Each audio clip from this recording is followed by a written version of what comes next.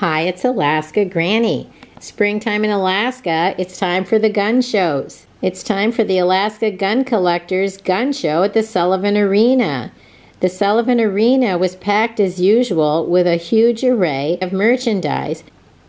Gun shows in Alaska are a little bit different from the lower 48 from what I've noticed, that there are a lot of artifacts,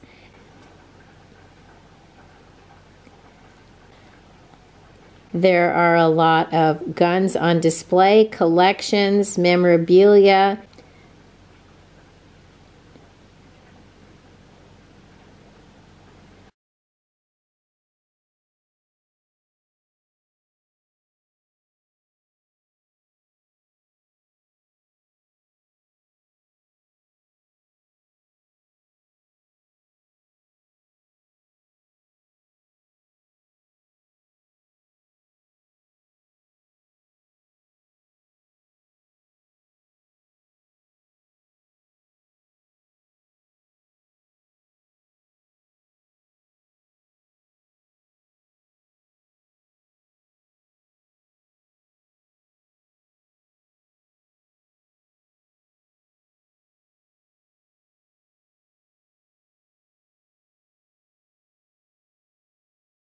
most of the things for sale aren't from the big vendors like you see.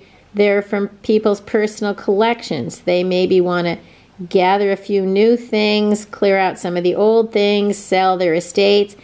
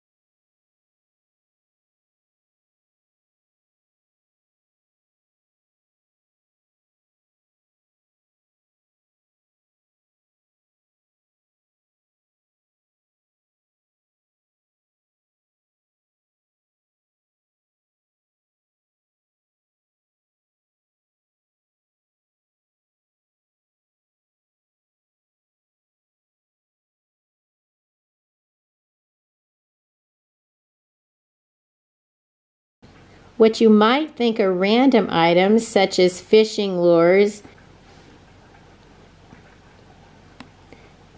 shrimp pots,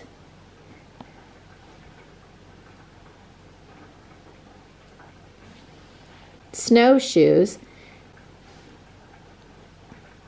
it might seem a little like somebody's garage sale, but the things that you find in people's garages in Alaska can really be interesting.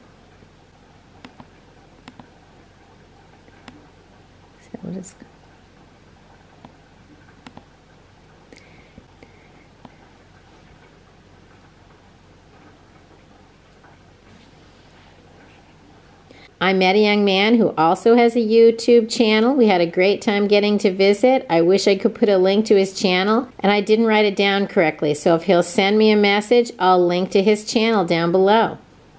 Take a few minutes to look over what I found the most interesting at the Alaska Gun Collectors Gun Show.